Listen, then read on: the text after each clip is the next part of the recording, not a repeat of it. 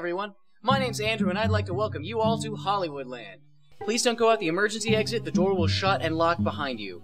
Please keep your feet off the seatbacks and railings, and turn off your cell phones. Show's about to start, so I hope you'll enjoy your movie.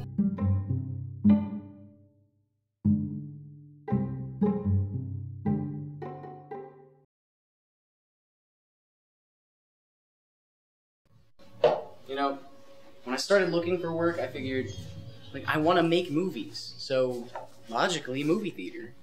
It's perfect, right? Yeah, the way everybody wishes you weren't bothering them is perfect practice for making your movies. freedom. And I'll take you to rescue your wife. Where are we going? You know what pisses me off? They use the same actors in everything. Tarantino had Christoph Waltz in Inglourious Basterds, and here he's again.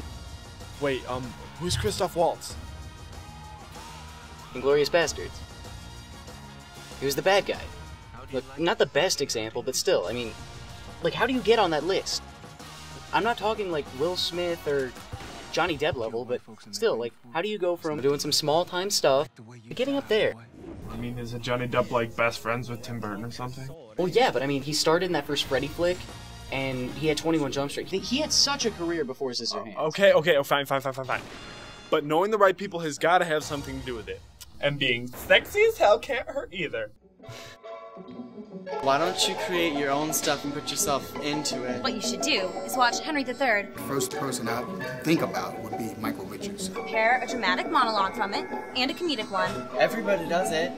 Hitchcock, Tarantino, Woody Allen. If he gets involved in it, because I know he's not really doing anything, uh, I'm sure Jerry Seinfeld would uh, get involved in it. Kevin Smith is Silent Bob in almost everything he has ever done.